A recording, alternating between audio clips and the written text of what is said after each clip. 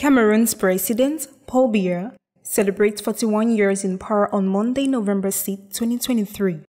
Following the resignation of Cameroon's first president, Amadou Ahidjo, Paul Biya, a former prime minister, took power on November 6, 1982.